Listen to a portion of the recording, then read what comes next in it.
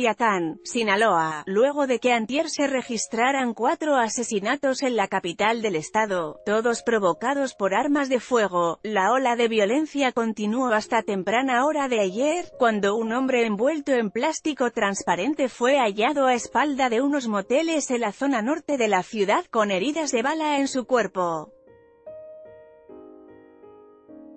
Por una brecha que va de la carretera internacional México 15 rumbo al residencial Espacios Barcelona. Antes de que dieran las 7 horas, un civil habló a los números de emergencia para solicitar la presencia de policías al encontrarse en su camino con una persona.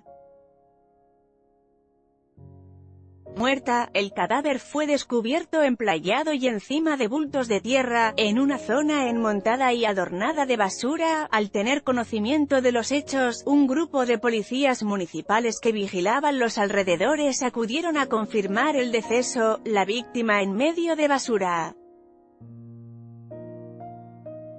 Foto, el debate la víctima estaba tirada boca arriba.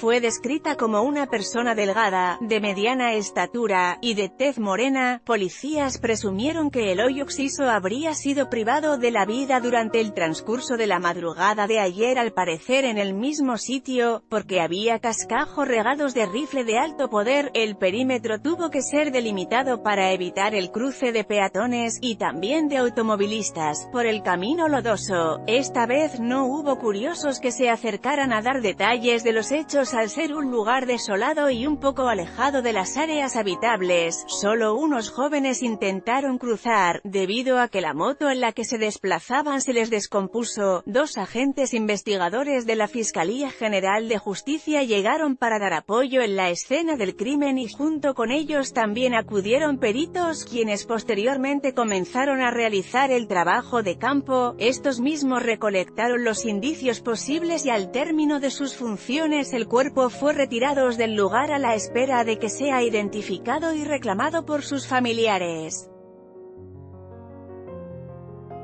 En esta nota, asesinato Culiacán emplayado.